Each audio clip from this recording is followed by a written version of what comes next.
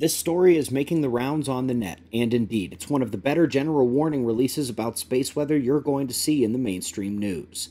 The article goes over how GPS, power grids, and any electrical system really is at risk during solar storms, and while this activity cycle is not yet at its peak, the sun is already producing more than was expected.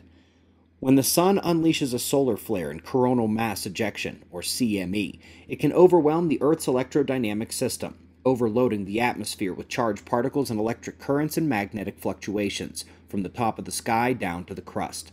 And indeed, a big one can send us back to the Stone Age by taking out all the grids, including the transportation and manufacturing sectors, leaving no real way to rebuild, at least not before the lack of electricity breaks down the modern world, and millions, if not billions, lose their lives due to lack of clean water, lack of food, heat, air conditioning, emergency services, hospitals, and more. The sun is going quite a bit higher than expected.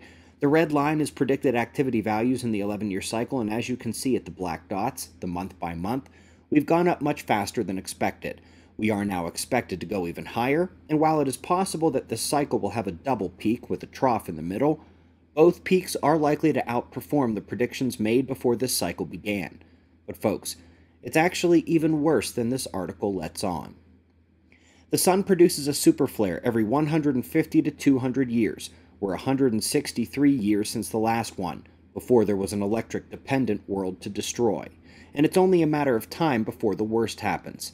The flare itself takes 8 minutes to arrive as X rays move at the speed of light. And while most CMEs take 2 to 4 days to arrive at Earth, in the big one there may only be an hour or two of warning.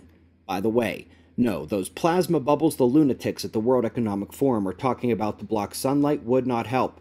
Not to block sunlight or a CME, it's just more plasma to be pushed into the atmosphere. Furthermore, what it would take for the sun to end the modern world is decreasing by the day. Earth's magnetic field is weakening as the entire solar system is shifting, and this decrease in our defensive magnetic shield means that a storm that wouldn't have been a huge problem 50 years ago may be a huge problem now. As the galactic current sheet, the galactic magnetic reversal, the larger version of the Sun's current sheet, overcomes our solar system, we are seeing changes on all of the planets, the Sun, and interplanetary space. Now, what these articles never successfully communicate is that we are more vulnerable than we've been in 12,000 years due to the weakening magnetic field, and that the Sun is due to swing one of those big haymakers at Earth any time. I hope you are ready to live in a pre industrial world. It's coming. Learn more with the resources listed below the video in the description box, and I'll see you in the morning for the daily show. Be safe, everyone.